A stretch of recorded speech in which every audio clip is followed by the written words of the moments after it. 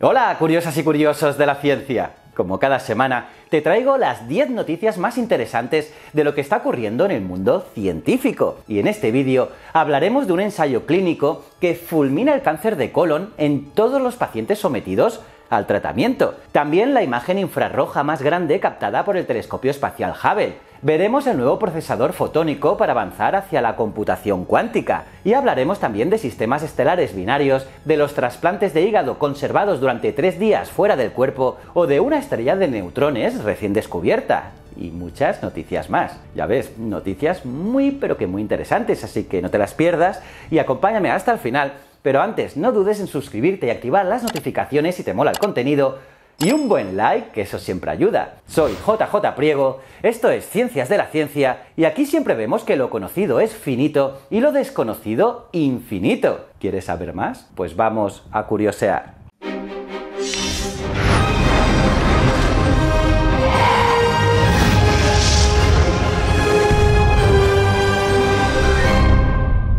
Muy bien, comencemos con las noticias de esta semana.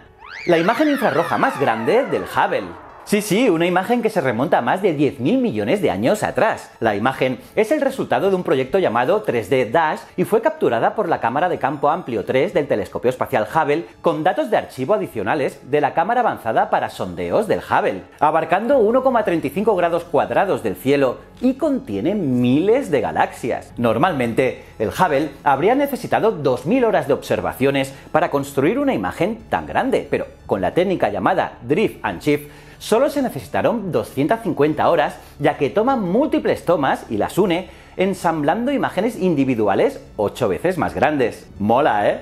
Nuevo procesador fotónico avanza hacia la computación cuántica. Investigadores de la empresa canadiense Chanadu han desarrollado un sistema capaz de resolver un problema computacional llamado muestreo de bosones en un tiempo récord de 36 microsegundos en realizar una tarea que llevaría más de 9.000 años a un superordenador clásico. Los ordenadores que utilizamos actualmente utilizan sistemas clásicos para procesar información, pero ¿pueden los dispositivos cuánticos hacer computación de manera más eficiente? Pues bien, para comprobar esta ventaja cuántica, los científicos e ingenieros plantean complejos problemas computacionales. Y uno de ellos es el muestreo de bosones, con el que se puede demostrar que un computador cuántico relativamente sencillo puede ejecutar un cálculo mucho más rápido que el más potente de los ordenadores clásicos. Sistemas estelares binarios pueden afectar las posibilidades de albergar vida. Debido a que la Tierra es el único planeta conocido que alberga vida tal como la conocemos, los investigadores generalmente se han centrado en sistemas planetarios similares al nuestro cuando buscan vida extraterrestre. Pero una nueva investigación sugiere que los sistemas planetarios se forman de manera diferente alrededor de estrellas binarias que alrededor de estrellas solitarias como el Sol y que esas diferencias podrían afectar el potencial de un sistema estelar binario para albergar vida. Y es que casi el 50% de todas las estrellas del tamaño del Sol son estrellas binarias. Y si se confirma la teoría del equipo, podría duplicarse la cantidad de sistemas que los investigadores querrían probar. Este estudio se basó en las observaciones de un sistema ubicado a unos mil años luz de distancia que algún día podría crear un sistema planetario.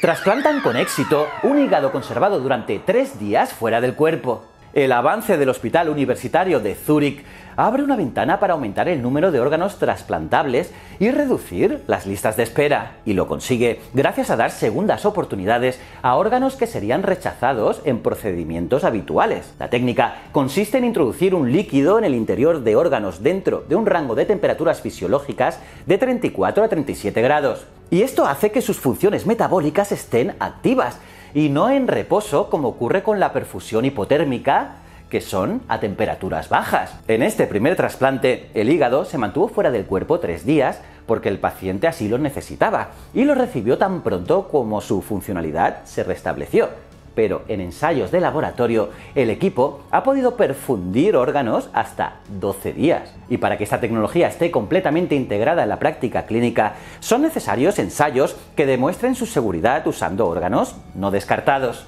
Gran noticia. Esta estrella de neutrones recién descubierta podría iluminar el camino para una nueva clase de objeto estelar.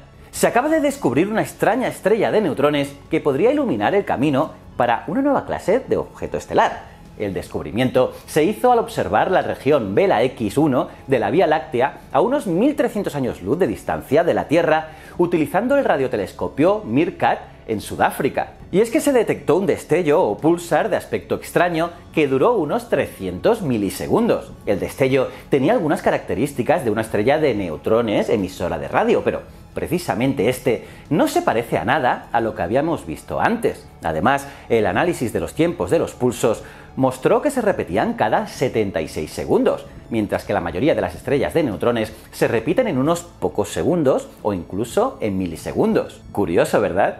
Los babuinos macho priorizan relaciones sociales distintas según la etapa de su vida. Los babuinos de Guinea viven en comunidades sociales muy organizadas, y un nuevo estudio muestra que los machos de esta especie se relacionan más con las hembras cuando están activos reproductivamente. En cambio, los jóvenes y en la vejez invierten más tiempo en relacionarse con otros machos. En el mundo animal, los vínculos de amistad entre machos puede brindar importantes beneficios, entre ellos recibir apoyo por parte del grupo para subir de rango social o ayuda para defender a las hembras contra sus rivales. Sin embargo, un nuevo estudio indica que la sociabilidad macho a macho tiene también sus consecuencias, ya que se asocia a un mayor éxito reproductivo. Durante cuatro años, el grupo de investigación analizó el comportamiento social de 30 machos y determinó la paternidad de 50 cachorros. Los animales formaban parte de una población de estudio de más de 400 individuos que viven en Senegal. Nueva simulación muestra cómo se desarrolló el universo primitivo segundos después del Big Bang. Una nueva simulación mapea los primeros segundos después del Big Bang, centrándose en lo que los científicos llaman el medio intergaláctico, o el gas y el polvo entre las galaxias. Y es que un equipo dirigido por investigadores del Instituto de Astrofísica de Canarias utilizó el aprendizaje automático, que es un tipo de algoritmo en el que se entrena a un ordenador para que reconozca patrones, para completar 100.000 horas de cálculo. El algoritmo para este proyecto se llama HydroPAM y permitió a los investigadores trazar fenómenos que incluyen materia oscura, gas energizado, hidrógeno neutro y otros ingredientes cósmicos que son esenciales para comprender la estructura de nuestro universo. La competencia sexual contribuyó a la evolución del cuello de las jirafas. Una teoría conocida como cuellos para el sexo sugiere que el aumento de la longitud del cuello de las jirafas tiene su origen en la competitividad sexual, y es que la observación del comportamiento de las jirafas ha permitido entender que en los machos el cuello sirve como un arma en la lucha por la competencia sexual. En concreto, los utilizan para lanzar sus cráneos contra los competidores para así provocarles heridas. Además, las jirafas con el cuello más largo podían llegar a las hojas de las ramas más altas de los árboles que estaban fuera del alcance de los otros herbívoros. Los ejemplares con cuellos cortos obtenían entonces menos alimentos. Y así los antepasados de mayor estatura eran los que más probabilidades tenían de poder alimentarse y no morir de hambre. Podría ser que los extraterrestres estén pasando el rato en esferas de Dyson que giran alrededor de nanas blancas. Pues sí, hasta ahora nadie ha encontrado evidencia de extraterrestres inteligentes en otras partes del cosmos. Pero según un estudio, si existen, porque todavía no se sabe, podrían estar colgando de las esferas de Dyson que giran alrededor de las cáscaras de estrellas similares al Sol, llamadas enanas blancas esparcidas por toda la Vía Láctea. Y es ahí donde deberíamos centrar nuestra búsqueda de extraterrestres. O al menos eso dijo a Life Science el coautor del estudio, Ben Zuckerman, que es profesor emérito de física y astronomía en la Universidad de California en Los Ángeles. Y según lo que arroje esa búsqueda, los astrónomos podrían estimar cuántas civilizaciones avanzadas acechan en la galaxia.